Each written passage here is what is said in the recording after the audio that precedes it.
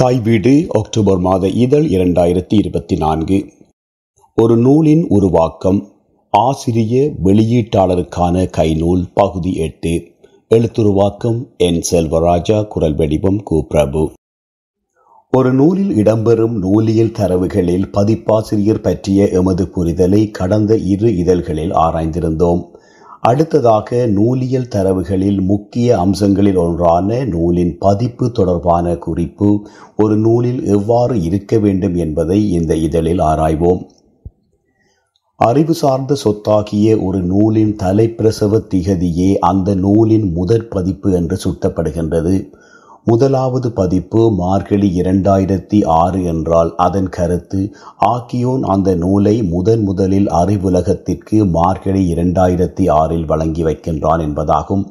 அந்த நூல் விற்று தீர்ந்தபின் மீண்டும் வைகாசி இரண்டாயிரத்தி ஒன்பதில் திருத்தமேதுமின்றி மீள அச்சிட்டு வழங்கப்பட்டால் அதன் இரண்டாவது பதிப்பு வைகாசி இரண்டாயிரத்தி ஒன்பது என்று குறிப்பிட வேண்டும்.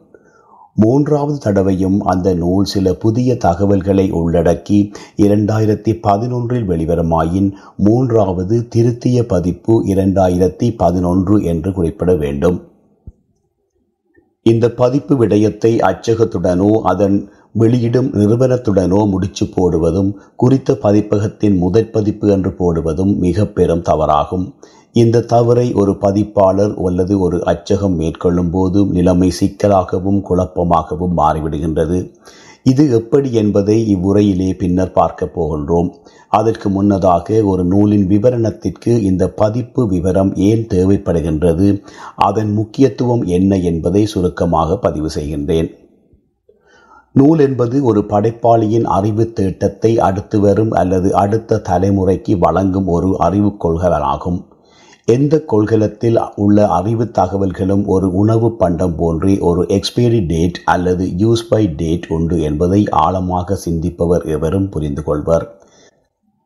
எமது அருஞ்சொத்தாக உள்ள சாகா வரம் பெற்ற சங்க இலக்கியங்கள் போன்று வரலாற்றை வளப்படுத்திய குறிப்பிட்ட சில நூல்கள் அவ்வப்போது தோன்றி வந்துள்ளன. இவை எக்காலத்தில் முதலில் வெளிவந்தன என்ற தகவல் மிக முக்கியமானது. அத்தகவல் தவறாக குறிப்பிடப்படுமாயின் அந்நூலின் வரலாற்றில் பாரிய குழப்பங்களை தோற்றுவித்துவிடும். ஒரு நூலின்கண் பொதிந்துள்ள அறிவை நாம் உள்வாங்கிக் கொள்ளும் வேளையில் அது வெளிவந்த காலத்தையும் கருத்தில் கொள்ள வேண்டும். சமூக அரசியல் மற்றும் தூய விஞ்ஞான நூல்களின் பயன்பாட்டு காலம் இலக்கிய வரலாற்று நூல்களை விட குறைவானது. நவீன அரசியல் பற்றிய ஒரு நூலை தேடும் வாசகர் ஆயிரத்தி தொள்ளாயிரத்தி ஐம்பத்தி ஆறில் வெளிவந்த நூலை விட இரண்டாயிரத்தி பதினாலில் வெளிவந்த நூலையே அதிகம் விரும்புவர். பதிப்பு ஆண்டு இரண்டு நூலிலும் போடப்படாத இடத்து அவரது தேர்வுக்கு வழிதான் ஏது? இன்று வெளிவரும் ஈழத்து தமிழ் நூல்களில் இருபது சதவீதமான நூல்கள் பதிப்பு விவரம் அற்றவையாகவே உள்ளன என்பது கவலைக்குரிய யதார்த்த நிலையாகும். நூல் தேட்டத்தின் பதிவுக்காக தேடிப்பெற்ற நூல்களில் இரண்டாயிரத்தி பதினான்கு பதினைந்து காலகட்டத்திலே வெளிவந்ததாக நான் நம்பிய சுமார் இருபத்தி ஐந்து நூல்கள் வெளியிட்ட ஆண்டு விவரமே முற்றாக காணப்படவில்லை. சில நூல்களில் முன்னுரை வாசிக்கும் போதுதான் இந்நூலின் முதற் பதிப்பு ஏற்கனவே சில காலங்களுக்கு முன்னர் வெளிவந்துள்ளது என்ற தகவலை பெற முடிகின்றது. இதிலிருந்து ஒரு நூலின் பதிப்பு விவரத்தை முக்கியத்துவத்தை நாம் பூரணமாக புரிந்து கொள்ளவில்லை என்பதையே உணர முடிகின்றது. பதிப்பு விவரமற்ற ஒரு நூலின் நிலை தனது பிறந்த தினத்தையே அறியாத ஒரு குழந்தையின் எதிர்காலம் போன்றதாகும். அசட்டு மாப்பிள்ளை என்ற நகைச்சுவை நாடகம் பரணியூரான் இயற்பெயர் எஸ். எஸ். கணேசபிள்ளை அவர்களால் எழுதப்பட்டது. இந்த நாடகத்தை கமலாலயம் கலைக்கழகத்தினர் நவம்பர் ஆயிரத்தி தொள்ளாயிரத்தி எழுபத்தி ஐந்தில் முதன் முதலில் நூல்வடியில் வெளியிட்டிருந்தனர். பின்னர் மட்டக்களப்பிலிருந்து உதயம் வெளியீட்டு வரிசையில் முதலாவது பதிப்பாக குறிப்பிட்டு மீண்டும் வெளிவந்தது. உதயம் ஒளி ஏழு கதிர் மூன்று டிசம்பர் ஆயிரத்தி தொள்ளாயிரத்தி தொண்ணூற்றி நான்கு பதிப்பாசிரியர் உஷா சிவதாசன். பத்தொன்பது ஆண்டுகளுக்கு பின்னர் வெளிவந்த இந்த நூலை இரண்டாவது பதிப்பாக நூலில் குறிப்பிட்டிருக்க வேண்டும். பின்னாளில் உடுவை எஸ் தில்லை நடராஜா அவர்களால் பதிப்பு விவரம் ஏதுமின்றி இந்நூல் மீள் பதிப்பாக குமரன் பதிப்பகத்தில் அச்சிடப்பட்டு வெளியிட்டப்பட்டது. இரண்டாயிரத்தி பதினான்கு பதினைந்து காலகட்டத்தில் இப்பதிப்பு வெளிவந்திருக்கக்கூடும். இதனை மூன்றாவது பதிப்பாக குறிப்பிட்டிருக்க வேண்டும். பாடசாலை மாணவர்களுக்குரிய நூல்களை வெளியிடும் வெளியீட்டு நிறுவனங்களும் ஆசிரிய வெளியீட்டாளர்களும் பதிப்பு விவரங்களை தமது நூலில் பதிவு செய்வதில் அக்கறை காட்டுவதில்லை. இதில் ஒரு வியாபார தந்திரமும் உள்ளது. ஒரு நூலின் பதிப்பு ஆண்டை வைத்தே உப பாட புத்தகங்களையும் பயிற்சி புத்தகங்களையும் நுகர்வோர் வாங்க முனைவதால் மாணவர்களின் கல்வி தேவைக்காக வெளியிடப்படும் உப பாட பயிற்சி புத்தகங்களில் வேண்டுமென்றே பதிப்பு ஆண்டை குறிப்பிடுவதை தவிர்க்கின்றார்கள் என்ற தகவலை கொழும்பின் பிரபல பாடப்புத்தக வெளியீட்டாளர் ஒருவரே நேரடியாக என்னிடம் ஒத்துக்கொண்டார். இரண்டாயிரத்தி இருபத்தி மூன்றாம் ஆண்டு காப்போத்த பரீட்சைக்கு தோற்றும் மாணவர்களுக்கு உரியது என்ற குறிப்பை வழங்குவது மாத்திரம் அதிகாரபூர்வமான பதிப்பு ஆண்டு விவரக்குறிப்பாக அமைந்து விடாது நூலாசிரியர் குறிப்பிட்டதொரு நூலை இரண்டாயிரத்தி இருபத்தி இரண்டிலோ இரண்டாயிரத்தி இருபத்தி ஒன்றிலோ கூட வெளியிட்டிருக்கலாம். மேலட்டையை மாத்திரம் மாற்றிவிட்டு பழைய கல்லையே புதிய மொந்தையில் வைத்து விற்பனை செய்யும் தந்திரமும் இங்கு வெற்றியளித்து வருகின்றது. ஒரு நாவலின் அல்லது சிறுகதை தொகுதியின் தலைப்பை மாத்திரம் மாற்றிவிட்டு புதிய தலைப்புடன் தனது பழைய நாவலை முதற் பதிப்பாக தமிழகத்தில் பிரசுரிக்கும் தந்திரமும் ஈழத்து தமிழ் படைப்பிலக்கிய சூழலில்தான் நிகழ்ந்துள்ளது. ஈழத்தின் பிரபல எழுத்தாளரும் வெளியீட்டாளருமான வரதரின் முதலாவது சிறுகதை தொகுப்பு கயமை மயக்கம் என்ற தலைப்பில் வரதர் வெளியீடாக ஆயிரத்தி தொள்ளாயிரத்தி அறுபதில் யாழ்ப்பாணத்தில் வெளிவந்திருந்தது. டாக்டர் மு. வரதராசனாரின் சிறப்புரையுடன் கூடிய இச்சிறுகதை தொகுப்பில் மாதுளம் பழம் சுதந்திரன் உள்ளுறவு ஆனந்தன் வேள்விப்பலி மறுமலர்ச்சி கயமை மயக்கம் ஆனந்தன் உள்ளும் புறமும் புதுவருட மலர் பிள்ளையார் கொடுத்தார் வீரம் தினகரன் வெறி யாழ் எழுத்தாளர் சங்க மலர் கற்பு மத்திய தீபம் ஒரு கணம் தினகரன் புதுயுகம் பெண் கலைச்செல்வி வாத்தியார் அழுதார் ஆனந்தன் ஆகிய தலைப்புகளில் எழுதப்பட்ட கதைகள் இடம்பெற்றிருந்தன. பரதரின் இரண்டாவது கதை தொகுதி என்று பலராலும் குறிப்பிடப்படும் பரதர் கதைகள் என்ற சிறுகதை தொகுதி ஆயிரத்தி தொள்ளாயிரத்தி தொன்னூற்றி ஆறில் சென்னையிலே இருந்து குமரன் பதிப்பகத்தின் வாயிலாக வெளியிடப்பட்டது. உண்மையில் இக்கதை தொகுதி ஆயிரத்தி தொள்ளாயிரத்தி அறுபதில் வெளிவந்த கயமை மயக்கம் என்ற கதை தொகுதியின் மீள் பதிப்பாகவே குறிப்பிடப்பட்டிருக்க வேண்டும். காரணம் இதில் காணப்படும் பன்னிரண்டு கதைகளும் முன்னைய நூலான கயமை மயக்கத்தில் இடம்பெற்றவையே. நூலின் தலைப்பு பதிப்பகம் என்பவை மாற்றமடைந்தால் இரண்டையும் நாம் வெவ்வேறு நூல்களாகவே வரலாற்றில் பதிவு செய்ய வேண்டியுள்ளது. ஈழத்தின் மற்றொரு எழுத்தாளரான செங்கையாளியன் இந்த நாடு உருப்படாது என்ற தலைப்பில் ஆயிரத்தி தொள்ளாயிரத்தி எண்பத்தி ஒன்பதில் தமது கமலம் பதிப்பகம் வெளியீடாக ஒரு நாவலை யாழ்ப்பாணத்திலிருந்து வெளியிட்டிருந்தார். அதே நாவல் ஆயிரத்தி தொள்ளாயிரத்தி எண்பத்தி ஆறில் வீரகேசரி வாரமலரில் தீராத சுமைகள் என்ற தலைப்பில் வெளிவந்திருந்தது. இந்நாவல் மூன்றாவது முறையாக மண்ணின் தாகம் என்ற தலைப்பில் மாற்றத்துடன் ஆயிரத்தி தொள்ளாயிரத்தி எண்பத்தி ஒன்பதாம் ஆண்டு யாழ்ப்பாணத்தில் இருந்து டேவிட் லிகோரியின் மீரா பதிப்பக வெளியீடாக வெளியிடப்பட்டிருந்தது. பதிப்பிக்க பட்ட ஆண்டு இரண்டு நூல்களும் முதலாவது பதிப்பாகவே குறிப்பிடப்பட்டிருந்தன.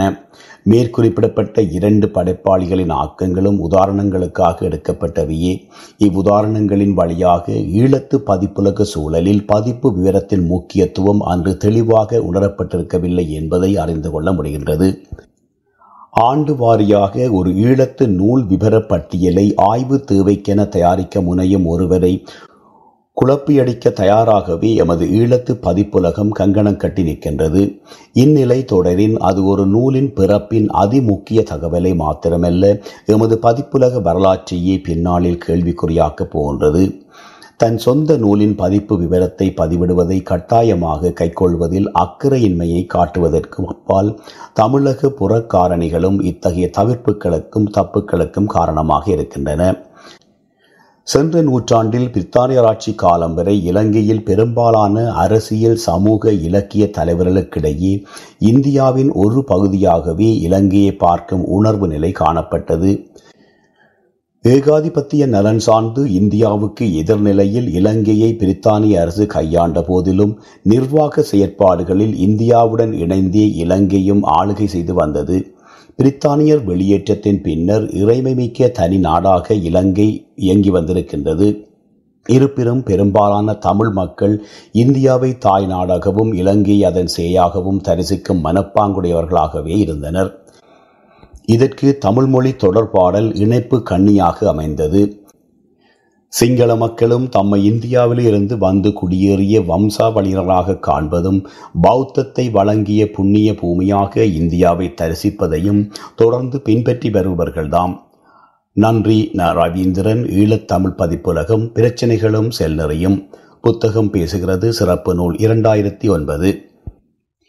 பத்தொன்பதாம் நூற்றாண்டில் தமிழகத்திலும் ஈழத்திலும் வாழ்ந்த தமிழ் புலவர்கள் மிகவும் நெருங்கிய தொடர்புகளை கொண்டிருந்தனர். போக்குவரத்து வசதிகளும் தொடர்பியற் சாதனங்களும் மிக அருகலாக இருந்த அக்காலத்தில் இரு நிலங்களும் இருந்த தமிழ் அறிஞர்களும் புலவர்களும் கவியர்களும் கணக்காயர்களும் அடிக்கடி சந்தித்து அளவலாவி பரஸ்பரம் உணர்வை பரிமாறிக்கொண்டனர் இன்று நாம் நம்ப முடியாத அளவிலே இது நடைபெற்றிருக்கின்றது. ஈழத்தவரான சு. சரவணமுத்து பிள்ளை சைவ உதயபானு என்னும் பத்திரிகையை ஏக காலத்தில் யாழ்ப்பாணத்திலே இருந்தும் மதுரையிலே இருந்தும் வெளியிட்டிருக்கின்றார். நன்றி க கைலாசபதி. ஈழத்து இலக்கிய முன்னோடிகள் மக்கள் வெளியீடு ஆயிரத்தி தொள்ளாயிரத்தி எண்பத்தி ஆறு. மேற்கண்ட இரு அறிஞர் கூற்றுக்களும் ஈழத்தமிழ் படைப்பாளிகளின் தமிழக உறவின் பரிமாணத்தை சற்று விளங்கிக் கொள்ள போதுமானது. அன்று போல இன்றும் ஈழத்தவரின் வெளியீடுகள் தமிழகத்தில் தொடர்ந்து நூலுருவாகும் நிலை காணப்பட்டு வருகின்றது. அதற்கு தமிழரின் உலகளாவிய புலம்பெயர்வு முக்கிய காரணமாக அமைந்துள்ளது. புலம்பெயர் தமிழரின் பொருளாதார வளத்தை வர்த்தக ரீதியாக பெற்றுக்கொள்ளும் ஒரு களமாகவும் தமிழக பதிப்புலகம் என்று மாறி வருகின்றது.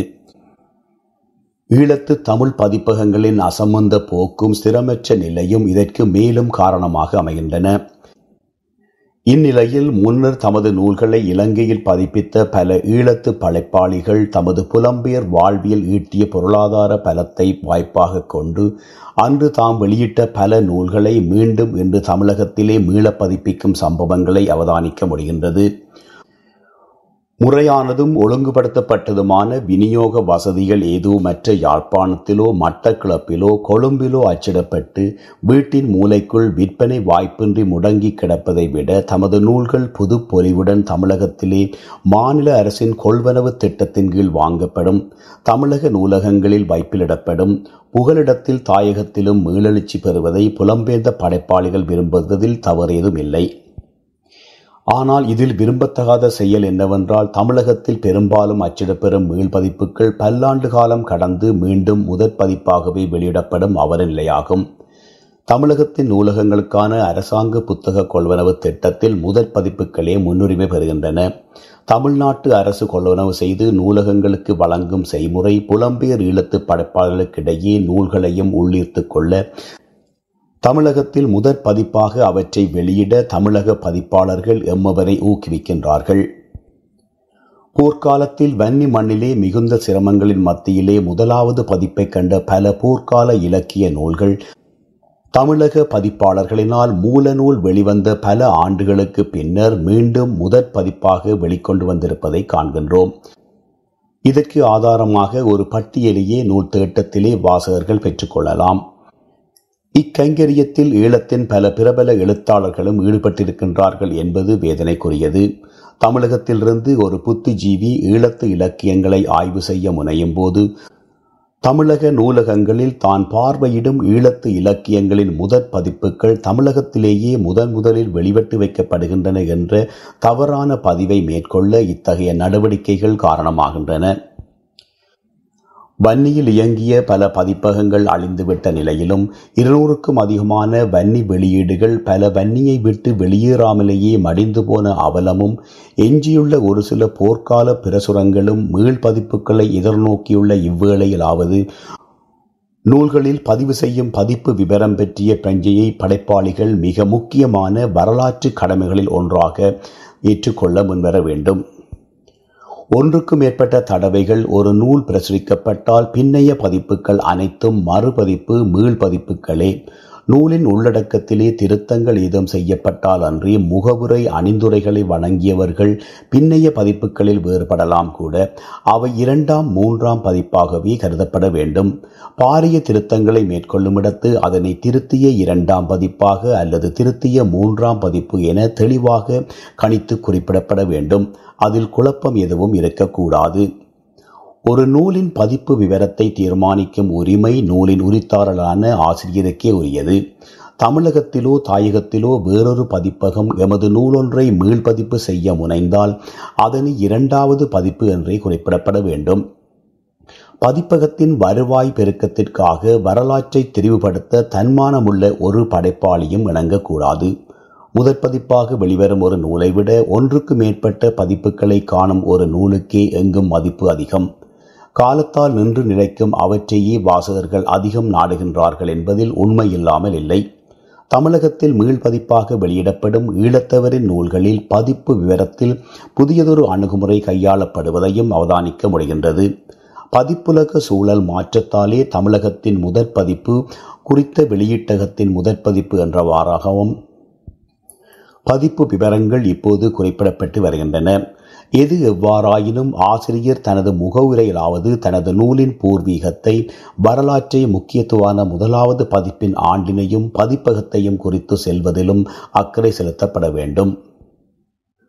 பதிப்பு எடிசன் இடி என்ற பதத்திற்கு பதிலாக பிரதியீடாக அச்சு ரீப்ரிண்ட் என்ற பதமும் ஈழத்து பதிப்புலக சூழலில் பயன்படுத்தப்பட்டு வருவதை அவதானித்திருப்பீர்கள்.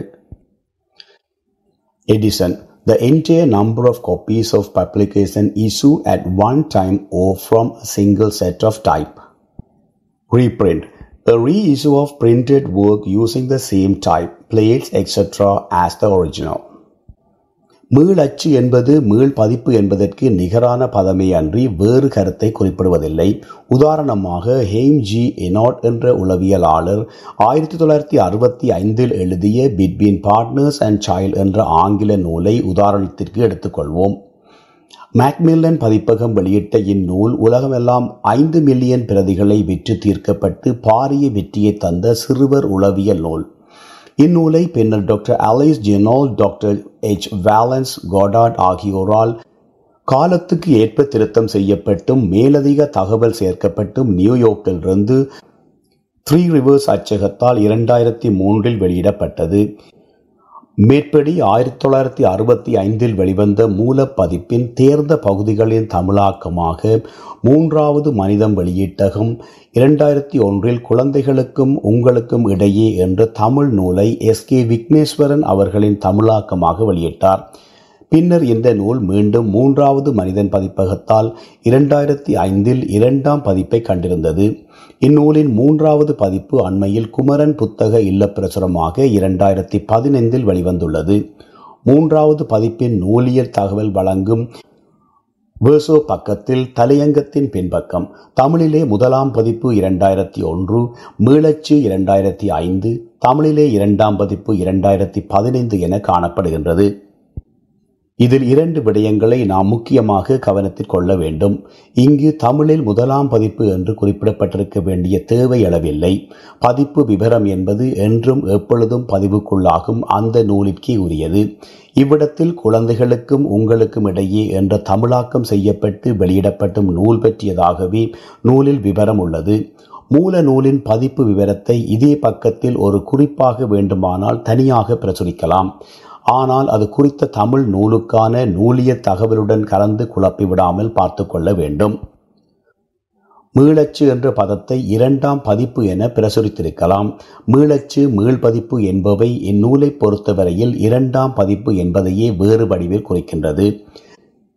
எவ்வாறாயினும் மூன்றாவது மனிதன் பதிப்பகம் இரு பதிப்புகளை வெளியிட்டுள்ள நிலையில் இரண்டாயிரத்தி பதினைந்தில் குமரன் பதிப்பகத்தினால் வெளியிடப்படும் நூலானது எஸ். கே. விக்னேஸ்வரன் அவர்களின் தமிழாக்கமாக வெளிவந்த குறிப்பிட்ட நூலின் மூன்றாவது பதிப்பாகவே இருந்திருக்க வேண்டும். தமிழில் இரண்டாம் பதிப்பு என்று குறிப்பிடுவது தவறான செய்தியாகும். ஒருவேளை அந்த நூலின் மொழிபெயர்ப்பாளர் திருத்தங்களை மேற்கொண்டிருந்தால் மூன்றாவது திருத்திய பதிப்பு என்று எளிமையாக குறிப்பிட்டிருக்கலாம்.